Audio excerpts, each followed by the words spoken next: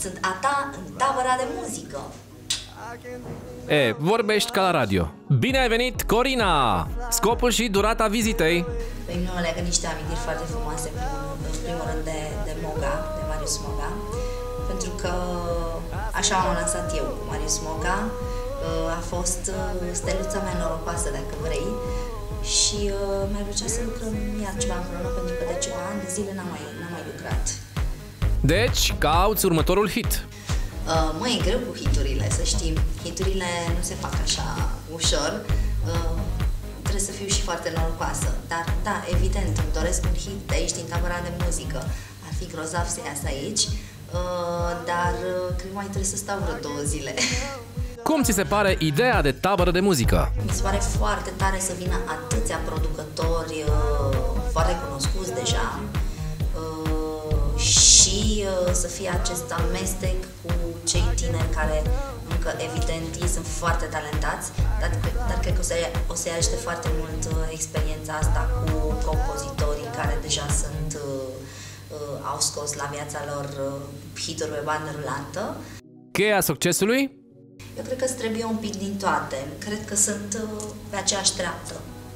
Uh, talentul, vocea cu imaginea, trebuie să găsești cumva calea aceea de mijloc, în așa fel încât să faci tu ce-ți place, dar să placă și uh, publicului. Și cred că trebuie să te reprezinte tot ceea ce faci. Nu cred că o echipă uh, poate să-ți impună, fă asta, asta, asta, dacă tu nu simți asta. E foarte important ca oamenii cu care lucrezi să-ți fie prieteni. Asta e, pentru mine asta e regula numărul unu, ca ei să te cunoască într-atât de bine încât să știe exact ce, ce-ți place, ce-ți dorești, ce te reprezintă. De ce anume trebuie să ții cont atunci când vrei să faci un hit? Trebuie să ții tot timpul cont de trenduri, uh, trebuie să te gândești tot timpul la radiouri, uh, trebuie să... Pentru mine o piesă care e hit trebuie să aibă clar un refren, un refren foarte puternic. Refrenul este tot ceea ce contează într-o piesă, pe lângă producție și uh, restul aranjamentului. Tu cum realizezi că o piesă de-a ta are potențial de hit? Mie îmi place că atunci când mi-aleg o piesă, să o ascult foarte mult și chiar să o testez împreună cu prietenii. Am câțiva prieteni care uh, intuiesc foarte bine uh, care e hitul. adică uh, e importantă și părerea lor. Sunt niște oameni care nu au niște gusturi muzicale neapărat aparte. Sunt oameni care ascultă radio și asta e foarte important. Ești mulțumită de cum a decurs până acum cariera ta? Uh, sunt un artist fericit pentru că am trecut de la uh, R&B la uh, pop, la reggaeton, la dance. Adică asta a fost grozav și grozav e că și publicul a primit cu drag tot ceea ce le-am oferit eu. Revenind la tabăra de muzică, ce impresie ți-au lăsat tinerii artiști și compozitori de aici? Foarte relaxați, încă nu, nu gândesc business, sunt încă foarte puri și important e că l-au aici pe Moga, care deja gândește și business și în felul ăsta eu cred că de fapt asta trebuie să învețe acești copii.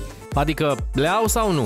Moga mi-a lăudat foarte tare și ce au înțeles sunt producători care de fapt nu mai au nevoie neapărat de, de uh, sfaturile lui Moga în ceea ce privește partea de compoziție. Adică ei poate să producă o piesă cap-coadă, ceea ce e foarte important. Viața de artist se rezumă doar la a face hituri? Depinde ce-ți dorești și depinde cum vrei să o iei. Dacă o iei ca pe un hobby, uh, poți să cânti absolut ce vrei și îți faci un band și cânti în cluburi underground sau le cânti prietenilor și atâta tot. Sau dacă vrei să uh, împărtășești uh, satisfacția ta, bucuria ta împreună cu toți oamenii, trebuie să ai clar un super hit. Cu ce gust pleci din tabăra de muzică? Amar, că tocmai am luat dexametazonă. Ai avut un vibe bun în tabăra de muzică? Da, mi-a plăcut foarte mult în tabăra de muzică și uh, sper să nu fie ultima. Uh, Mogare tot timpul uh, idei foarte tari și cred mult în uh, scripirea lui el, pentru că faptul că este un compozitor bun, are și o scripire aici. și uh, faptul că a reușit să facă acest lucru uh, e grozav atât pentru noi ca, ca artiști, și atât pentru acest, acești copii care, cu care eu peste, uh, nu știu, 3, 4, 5 ani de zile sunt sigură că am să lucrez uh, singură, fără Moga. Deci Moga nu te supăra.